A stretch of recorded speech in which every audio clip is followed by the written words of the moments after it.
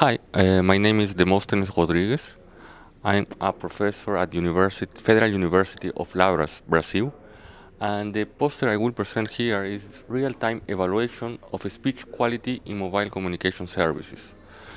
The resume of this poster is to try to improve the ITU uh, recommendation named P.563 because we discovered that this recommendation has some problems, some issues. One of them is this recommendation do not considers the natural silence of communications in telephone voice in a phone call.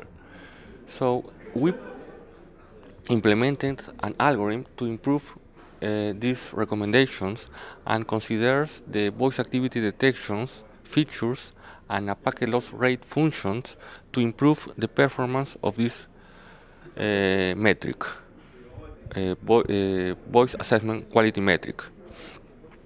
So we perform this uh, algorithm in a device mobile and we test with uh, different persons and we consider we reach some improvement in this uh, voice quality metric.